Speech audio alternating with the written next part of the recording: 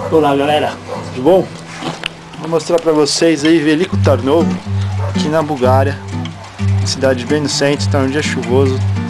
Vocês veem as casas aqui com uma arquitetura típica, todas muito juntas, em regiões que tem umas, umas montanhas aí.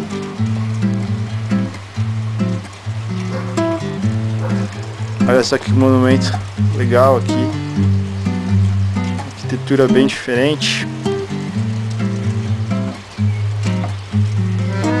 Aqui é o rio Yantra, que corta a cidade. Aqui de novo arquitetura bem bacana, todas as casinhas muito juntas na, nas montanhas aqui. Aí pessoal, aqui é Veliko Tarnovo, na Bulgária.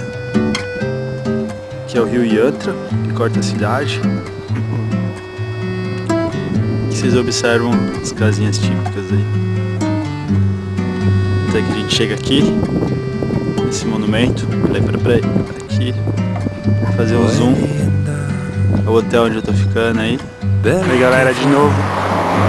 Aqui é a Fortaleza de Tsarevits. Castelo de Veliko Tarnovo.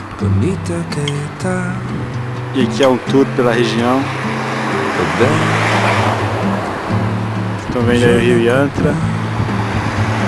É uma cidade bem da hora. Bem bonita.